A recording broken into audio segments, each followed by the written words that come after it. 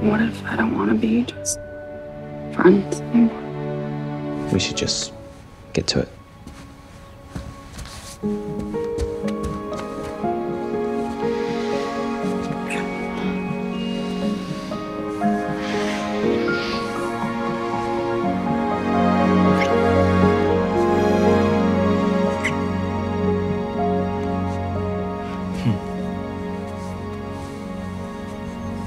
What are we even doing again?